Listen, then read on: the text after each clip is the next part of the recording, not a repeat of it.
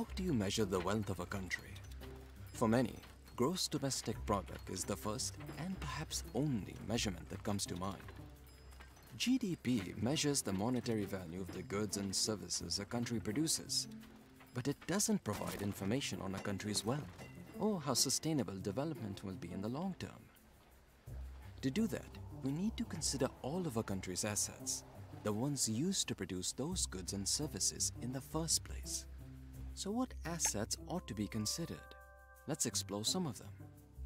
First, the natural capital, like forests, agricultural lands, fisheries, and minerals. Also, the human made or produced capital, buildings, roads, machinery, and such. And of course, the skills and experience of the population, a country's human capital. Taking stock of a country's assets can help determine whether or not growth is sustainable. Exploiting natural resources may look like economic growth today, but what about the future?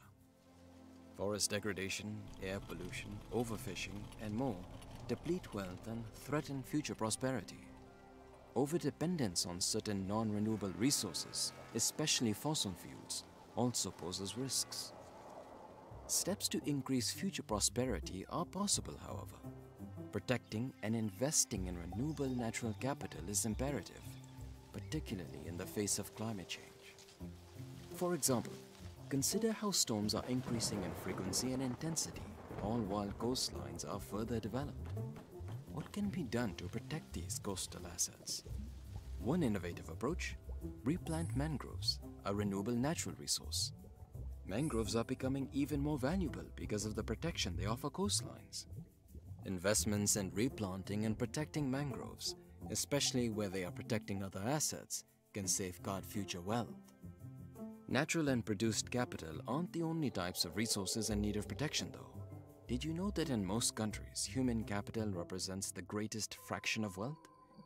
The global COVID 19 pandemic shows just how at risk human capital and livelihoods can be, and reinforced the need to address ongoing issues like gender gaps and the health impacts of air pollution.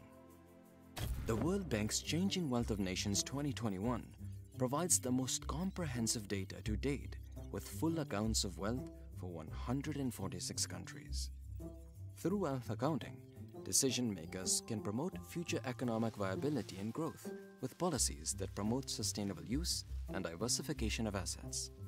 Look ahead to the future with an eye on climate change and other risks, and continually invest in a nation's greatest resource its people.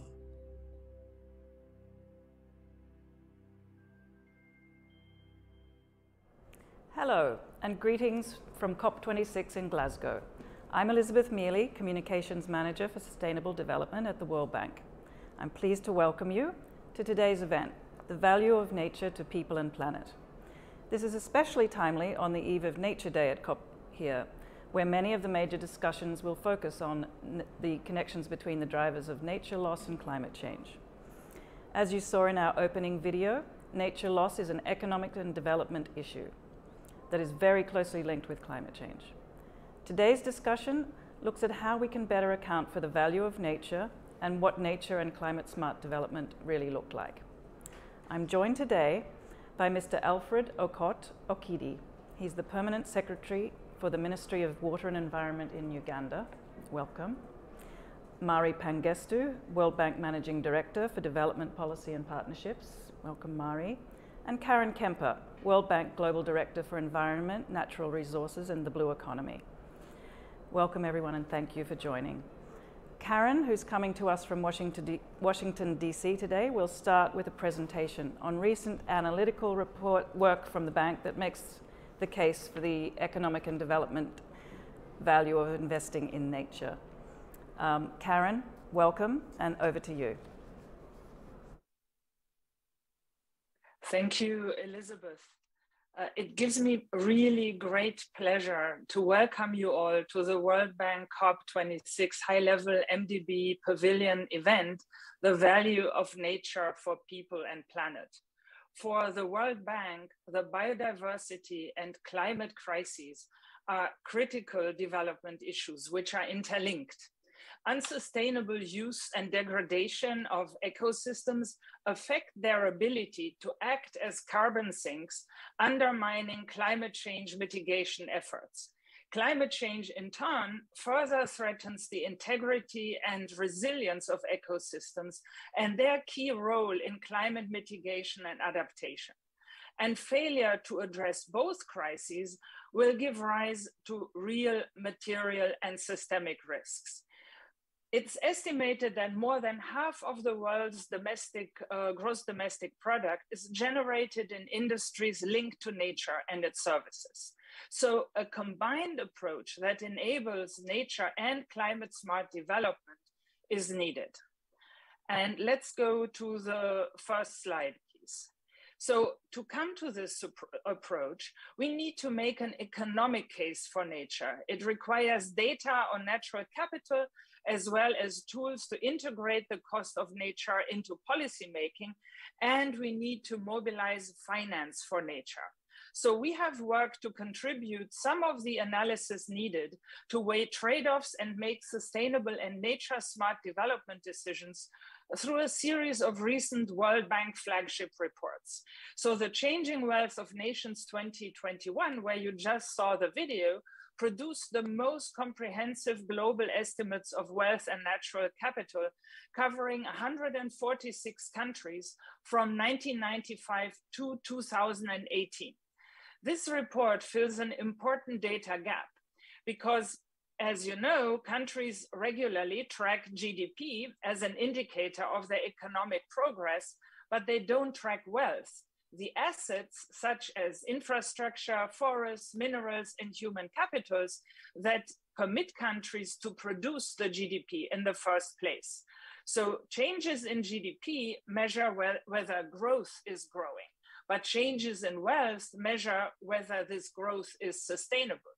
So the Changing Wealth of Nations report produces these wealth estimates using an internationally accepted methodology that allows wealth estimates to be used by ministries of finance and other policymakers. Now, there are limitations to this methodology when considering the value of biodiversity and ecosystem services. And therefore, our other flagship uh, publication, The Economic Case of Nature, estimated for the first time the economic cost of collapse in key ecosystem services. And our approach paper, Unlocking Nature Smart Development, which came out in 2021, outlines global responses that could unlock nature smart development. So let me tell you a bit in the next slide and the following slide what all of this means in practice. What are the results of these analyses? So when we look at our latest findings on, on this global wealth, we see that although total wealth increased everywhere, per capita total wealth, which is a better measure of sustainability, did not. If resources, especially natural resources, are depleted for short-term gains, countries may be on, on an unsustainable development path. And in fact, 26 countries across every income group experienced a decline or stagnation in per capita wealth. The countries most at risk include fragile contract, uh, conflict, resource rich, and low income states.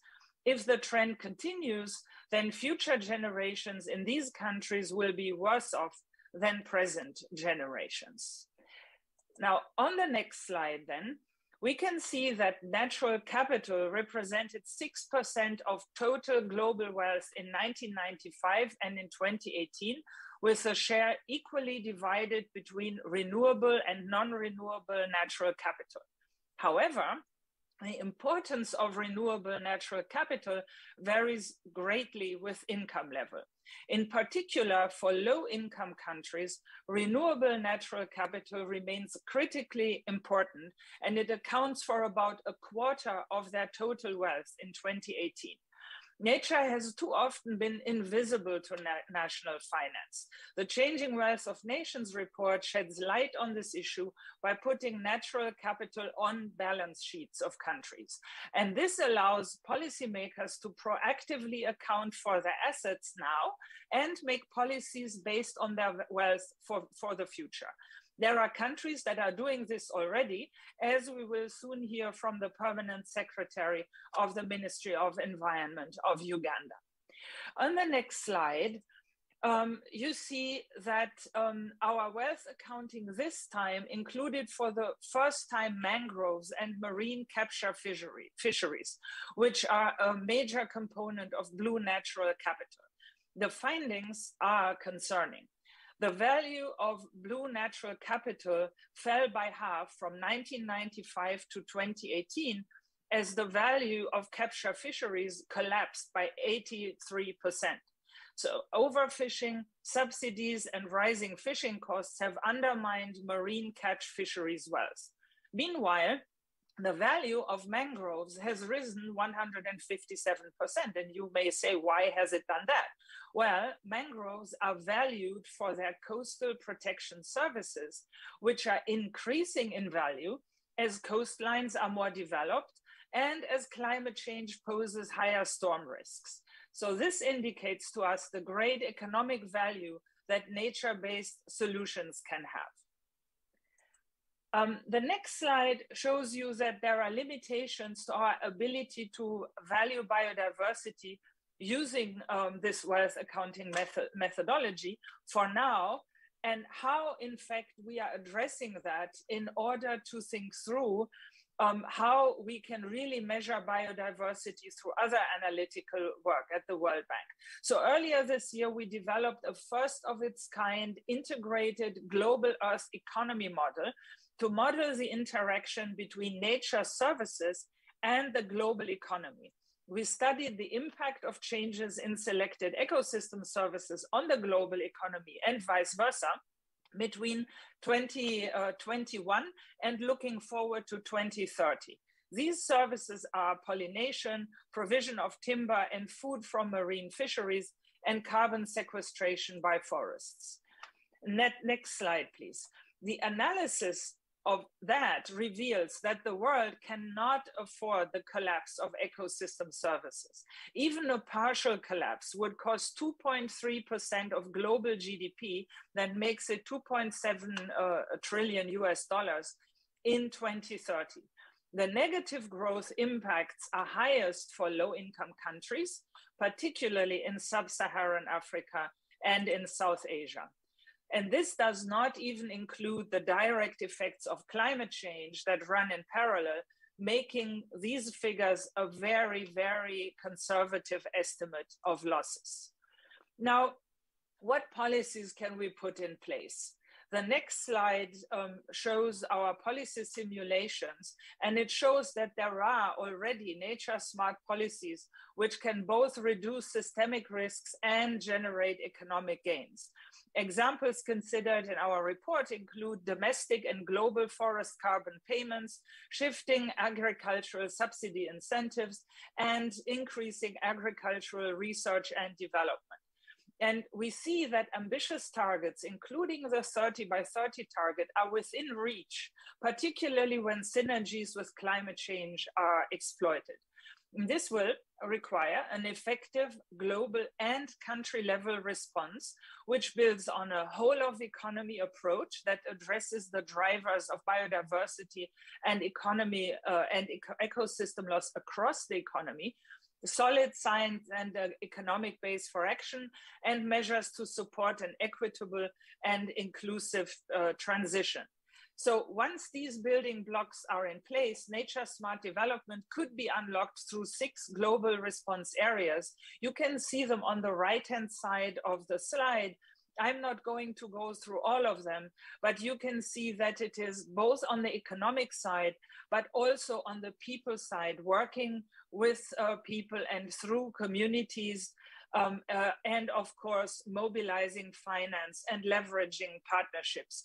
Mm, this in our report, it is uh, quite developed if you are interested to look, um, to look at that. And then coming to the final slide, um, what is needed going forward. And of course, one of the big discussions is about mobilizing finance. And public uh, policy will only be truly effective if we can leverage the necessary resources to support nature smart development. In order to adequately scale nature and climate action to meet today's challenges, mobilizing finance is really key because delaying investments on nature and climate could actually trigger a vicious cycle where climate shocks and the collapse of ecosystem services impact economies further, making it impossible to address the consequences of climate change and nature loss that we are already experiencing. It's therefore necessary to create the adequate um, um, and affordable finance flow to developing countries, removing key apps obstacles that stand in the way on both the demand and on the supply side. And the private sector there has a really key uh, uh, role to play. To mobilize sufficient private finance, a two pronged approach is necessary. One that finances green activities that promote and enhance the ecosystem services that nature provide, but also ones that greens finance and that greens financial markets. That will involve directing financial flows away from projects with negative impact on biodiversity on ecosystems, but and also means to incentivize achievement of sustainability objectives. For example, encouraging the adoption of green bonds, the further issuing of green bonds, and ensuring that the scoring of sovereign bonds ensures that the state of the environment and its economic value are taken into account. So with that, I want to thank you. It's been an honor uh, to share our work with you today. And now I'm looking forward to the discussion on how these important analyses can be put into action with our distinguished guests joining us in Glasgow. Over to you, Elisabeth. Thank you, Karin. Very interesting um, presentation there and, and, some startling figures, including $2.7 trillion in potential losses to economies if we lose some of these incredibly important ecosystem services that nature provides. Um, let me turn to our guests, Mr. Okidi, who's the Permanent Secretary for the Ministry of Water and Environment in Uganda. Um, I understand you've been working on, you know, understanding the value of nature to Uganda's economy and even factoring nature into your planning uh, and development planning. Can you just talk us through what Uganda has been doing and um, how nature, you know, how you're figuring nature more squarely in your economic planning. Thank you. Uganda's uh, development that is captured in Vision 2040 and the National Development Plan 3 is actually nature-led. And uh, we realize as a country that there's a big disconnect in terms of uh, understanding to what extent the natural capital of Uganda is actually contributing and driving the development of the country. And therefore, what we opted for uh, with support of the World Bank is actually to get into natural capital accounting. Because if you know what you're measuring, then you can manage it because the biggest concern for us as a country right now is the amount of degradation and the losses in some of the ecosystems. And yet, when you look at uh, the basic figures like the foreign earnings, for example, tourism is actually, I think, the number two foreign exchange earner before the COVID pandemic came in. It was actually projected to be the number one. So it is very important for us as a country that these natural resources bases are actually understood and then we protect them. So it has led to now uh, at the development level, highest development level, the country adopting the national capital accounting. It has also driven uh, the government to come up with a decade of restoration which was launched just about uh, two months ago uh, after being passed by cabinet to see how we can restore all these ecosystems that are critical to ensure that future generations also benefit from these nature given, given, given resources. Uh, the reason why we want this natural capital accounting really in is because we need to understand and value. Because if we value it, then we can treasure what roles it plays. Yeah. Um, I'll come back to this a little more in detail, um, but first I want to turn to Mari Pangestu, our managing director, to explain, I mean, to, to, talk about how the World Bank has been working on this for, for quite a long time. It's really been over 10 years that um, natural capital accounting has been a key priority for the World Bank and, and supporting countries like Uganda to do it. How do you see this work contributing to the broader mission of the bank um, on poverty reduction and promoting shared prosperity? Mari. Uh, yes, uh, thank you uh, for the question, Elisabeth. Uh, I think we, we can start by uh, where the Permanent Secretary left off. Mother, Mother Nature doesn't need us, but we need Mother Nature. Uh, because it provides the ecosystem services that allows us to breathe, to eat, and to live. Uh, and the loss of nature, uh, uh nat uh, nature and its uh, critical ecosystem services hurt the poor the most. That's why it's you know a development imperative for us to address it. I mean, Karin mentioned some of the numbers. Uh, and it comes from the three uh, major reports that Karin mentioned, including the one that uh, we are talking about today, which is the Changing Wealth of Nations. Just to add to Karin's numbers, 3 billion people depend on marine and coastal biodiversity for pro protein intake and livelihoods. 75% of food crops rely on animal pollination.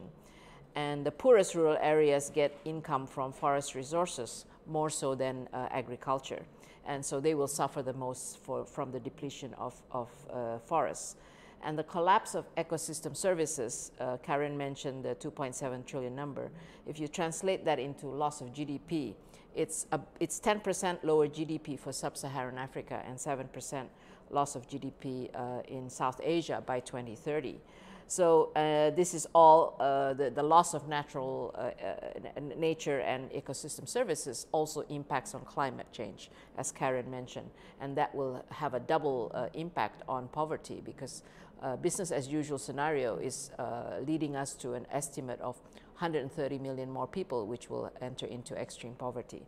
So we need to address and reverse the decline in natural capital. And to do so, as the permanent secretary, secretary mentioned, we need to put a value to nature. We need to measure uh, the value of uh, nature going beyond uh, GDP uh, and uh, provide the economic argument uh, for protecting nature, conserving nature, and restoring nature. Um, and this is key to internalize the value of nature in markets and government policy. so natural capital accounting uh, is one tool. Uh, and the data and the analysis that's coming out of the changing wealth of nations is addressing this very important data, ga data gap uh, for policymakers uh, to help them guide uh, to have more uh, nature and climate smart policies that will, you know, I, I, think it's very important to emphasize because we, we are making the economic case for development as to why you need to uh, uh, uh, protect nature and ecosystem services and it's linked to climate. It's about conservation. It is about restoration in some instances, but it's also about the use of the nature, natural assets that you have in a sustainable way, right? It's not about just conservation because a lot of times uh, there is kind of a, a, pushback because, oh, conservation, then, you know, wh where, where do the livelihoods go? but you can do all three, you know, conserve, conserve restore, and sustainable use uh, of the resources like tourism, as was mentioned by the permanent secretary. And, and it creates a lot of value if you can measure it and then you can manage it.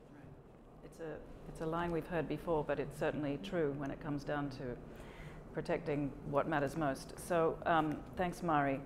Um, Mr. Okidi, you, you did mention there that, um, that, that nature is a key part of your tourism, what's attracting people to Uganda, and it's, it's therefore becoming a, a huge driver of economic growth in, in your country. Can you tell us more about some of the drivers of nature loss? I mean, you have a massive forest resource in Uganda. what are, what's driving this degradation and, and how is something like natural capital accounting that we've heard about today helping make a difference? Okay, there are primarily about uh, four drivers of uh, uh, degradation in Uganda. The first one is poverty. Uh, people go to look for livelihood and resources to survive uh, in these forests because of the poverty level. The second one is because of the rapid growth in population and the demand for agricultural land. Uh, and given that our agriculture is nature-based, you find that people are moving into the forests, the swamps, and even the slopes of the mountainous areas that are quite dangerous to do cultivation. So the drive is for agriculture. And then nearly 95% of the population of Uganda still depend on the energy sources for cooking on biomass. That is charcoal, firewood. Uh, so they venture, especially into the forest, to look for that energy for, for, for cooking. We have also witnessed uh, opportunities traders, especially from without Uganda, who have gone at, uh, after very exotic species and rare species, and they have been actually harvesting them, like the Afri uh, Afzelia africana and the shea nut uh, tree uh, with disastrous consequences. So these are the four primary drivers of uh, degradation in Uganda. So in a way you have to attack multiple problems um, in a whole development plan, taking on all of these drivers at once. How do you, how do you go about doing that? Your, your new Vision 2040 is interesting from that point of view. Yes. The solution lies in actually addressing these drivers in an integrated and holistic way. And uh, one of the things that uh, Vision 2040 strives to is actually transform the country into middle income by 2040. Uh, and to do that, we need to move the agricultural practices from the peasantry type into commercial, which is smart. And therefore, it implies using uh, less or the same amount of land, but producing more. So the issue of technology comes into place, the issue of water storage, uh, so that people can cultivate the same piece of land maybe three or four times in a year and uh, end up earning six or five, six to ten times what they're earning right now. So that is, that is one of the solutions. The other solution is to look at uh, shifting the energy uh, usage from biomass. And in this regard, it is a gradual transition looking at energy efficient solutions like the energy efficient cooking stoves, but also encouraging uh, people not to go to the natural uh, forests or the natural trees for biomass, but instead plant the fast maturing species that they can use because some of them within a period of one and a half to two and a half years, they're already ready. So that is the drive for now as we transition into cleaner, uh, cleaner, cleaner, cleaner energy sources. On the other side, uh, enforcement is being strengthened and we are also coming up with more robust legal protection because some of the laws at the moment we realize actually do not give commensurate punishment if you compare with the value of uh, the resources that is being laid to waste. Because somebody destroys exotic species worth maybe 200 million shillings, but he pays a fine of just about 80,000 shillings. So there is a disconnect. So we want to address that. Uh, but the principle is let the population coexist with nature. So it is something like uh, the MD said, really making sure that you don't ban people, but make them coexist peacefully and in a sustainable way. So it's this value on nature that we're talking about today that has a benefit for people. So it's bringing, bringing that value to that awareness.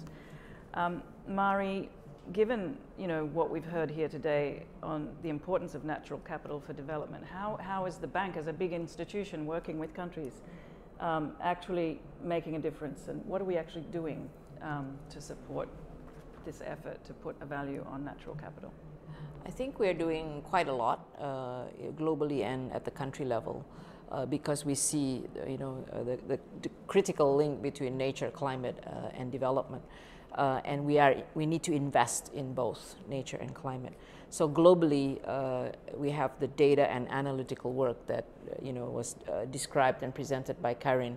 You know, the, today uh, we talked about the Wealth of Nations report, but Karin also mentioned uh, other reports. But the data and analytics are, are key to be able to guide policymakers so that they can make the informed decisions that will uh, lead you to, I like the way uh, Permanent Secretary put it, so that nature and people can coexist in a sustainable way. So you want both, right? You want the development, but you also want to protect the, va the value of nature.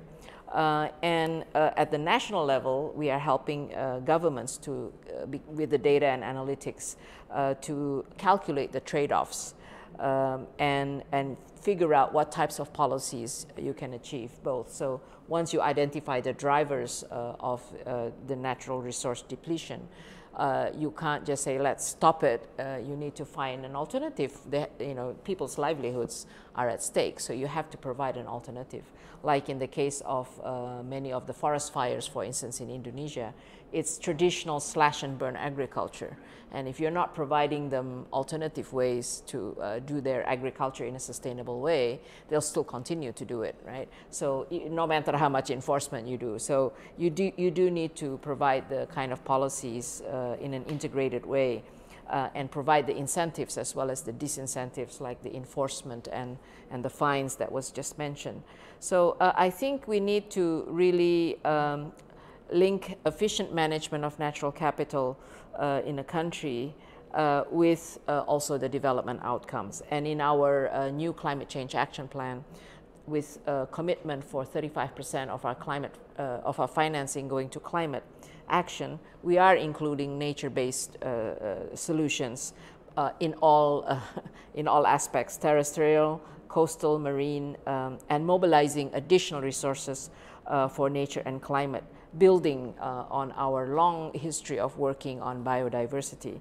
And uh, in particular for IDA 20, because we, we earlier we, we mentioned that uh, the, the, the, decline in uh, natural capital and ecosystem services hit the poorest countries the most and hit the poorest in these countries uh, even more. So in the IDA 20 replenishment, we are very much focusing on the synergy between nature, climate, uh, and development.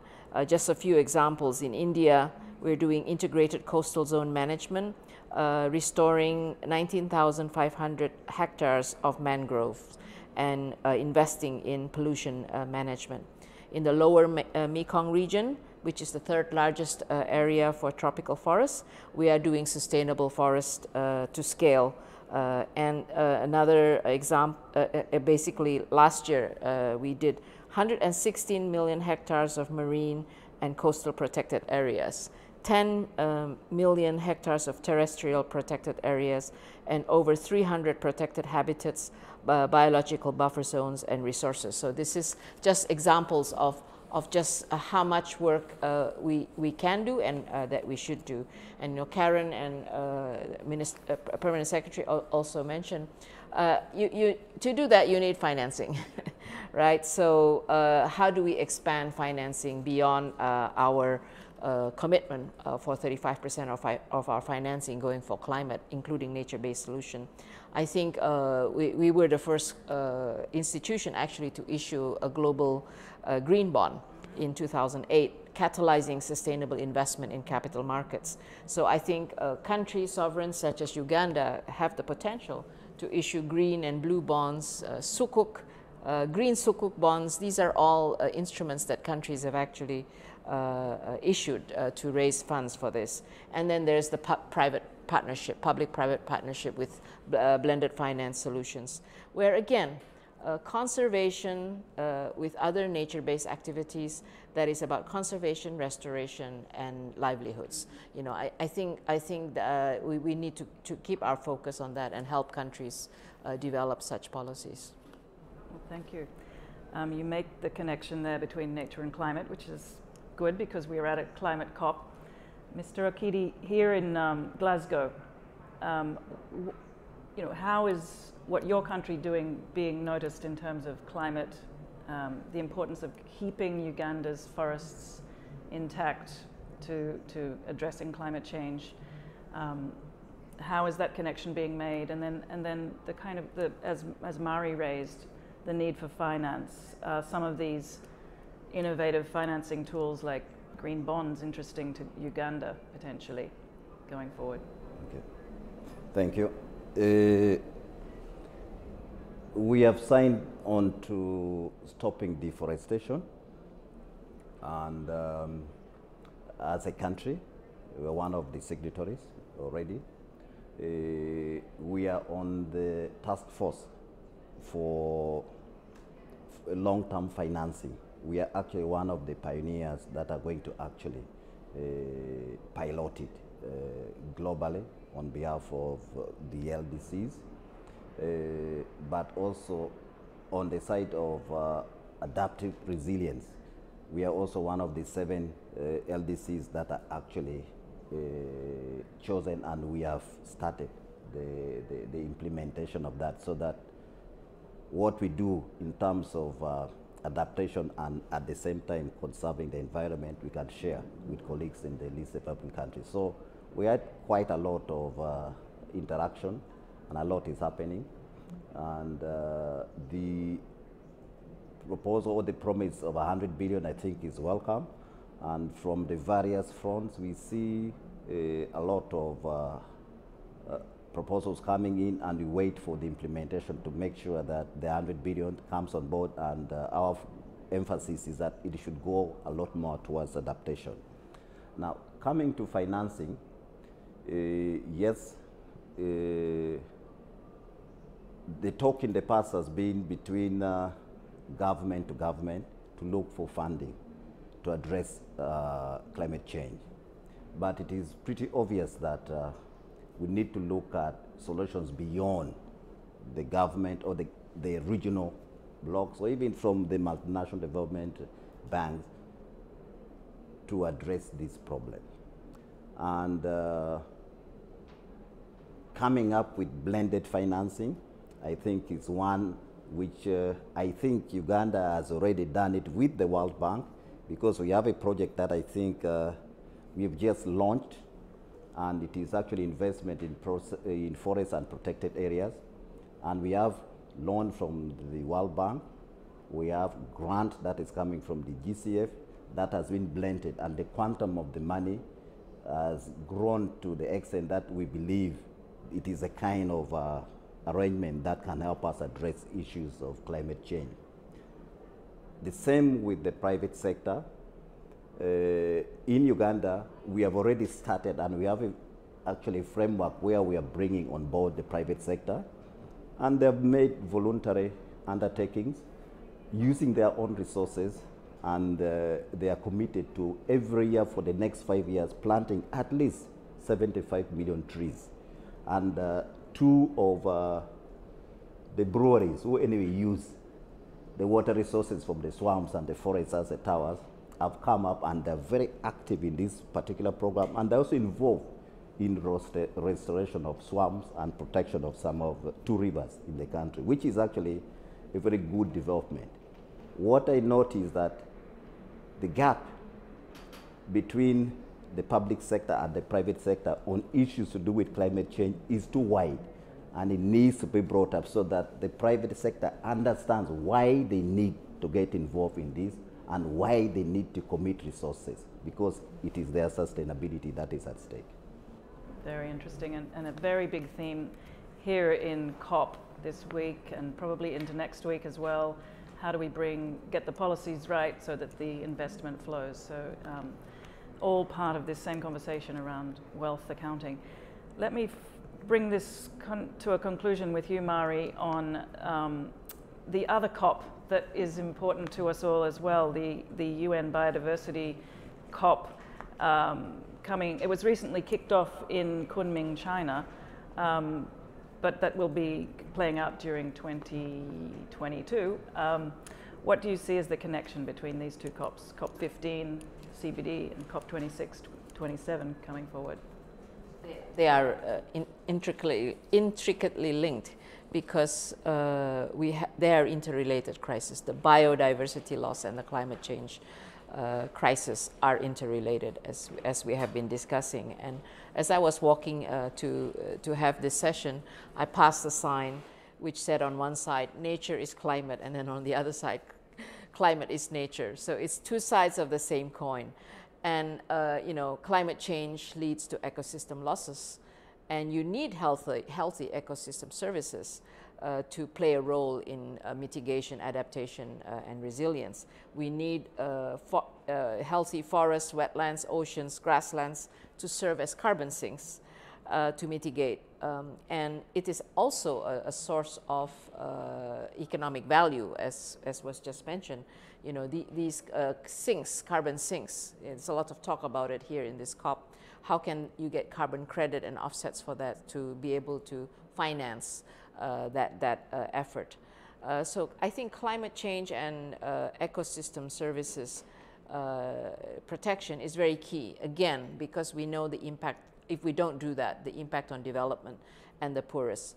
If we just, if we didn't do anything, uh, business as usual scenario, it, it will really hurt the poor the most. So we need transformative and coordinated actions on both natural uh, and ecosystem services losses and the climate crisis. We need to manage both crises uh, in an integrated and interrelated way.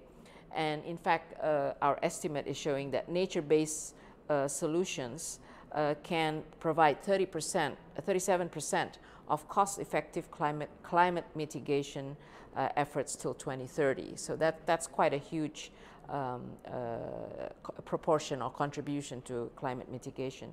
And you know, uh, we, we've been mentioning mangroves, so let me give you an example from my own country, Indonesia. Uh, World Bank is helping Indonesia to do mangrove restoration. Uh, I think it's 600 uh, uh, million hectares over the next five years. and it has a triple benefit.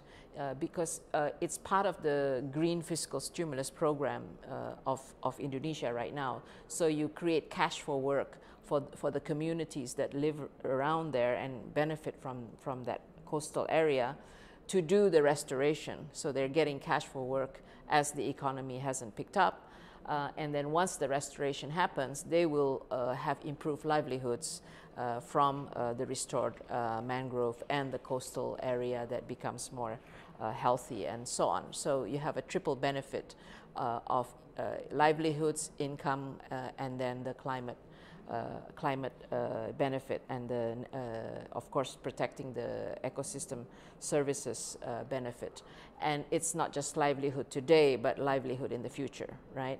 So I think that's really the value of, of, of nature capital that we, we really need to, to protect. Uh, so uh, uh, just to close on the financing gap that was mentioned, totally agree. It can't just come from public funding. Uh, the financing gap is 700 billion uh, dollars per year on average till 2030. So we really need an integrated uh, nature and climate um, approach and a, a, a, link between the biodiversity uh, framework that's going to emerge from Kunming post 2020 and the Paris Agreement. You know, this, this, is, this is the work for us ahead. Uh, and uh, with that and government policies and the value of uh, nature uh, being more uh, measured and managed and clearly monitored, I think you can draw in uh, private sector funding as we had just discussed. We really need all that to come together in an integrated way, whole of economy approach and really clearly measuring the value that you are trying to that you are protecting and monitor the, the actions that go with uh, protecting and uh, conserving and uh, utilizing the value uh, of nature. Uh, and that's the only way that you'll be able to, you know, draw in blended finance. I mean, the, the that was an interesting example with the brewery and the forest. Uh, I think we can find many examples where, uh, you know, the, where the private sector is actually benefiting uh, from the protection of the, the nature. They will, they can also come in to co-invest, not just government, in protecting the nature. I have a similar example in, in Indonesia in, in an area which grows rubber and it's below the conservation, it's in a conservation forest area. So it's a sustainable rubber plantation, but uh, they pay for the buffer around uh, them uh, uh because it's in it right below uh, a conservation forest, and it's also the migration path for the wild animals. So uh, they, they protect the buffer because you know it's in their interest because they are doing the sustainable rubber plantation there and it was a blended finance. It was funded by blended finance, no government involved, with a bank that came in, and USAID came in with a guarantee, uh, and impact investors coming in as well. So you know, it's, it, it can be done. Put it, it that way. Yeah. yeah, you just got to be able to structure it right. Yeah. That is the the message. It can yeah. be done. We have the economic analysis that Karin has outlined. It's clear there's a, there's a value that needs to be protected and, and built upon. Um, and there's a huge link to climate. So I think that's the, that's the sort of great summary of this conversation. I want to thank you all. Mr. Okidi from Uganda, thank you for joining us. Mari Pangestu, our Managing Director at the World Bank. And Karin Kemper in Washington, thank you so much for this excellent presentation. That brings us to a conclusion. Thank you all for joining and um, a fantastic prelude to Nature Day tomorrow here at COP. Thanks.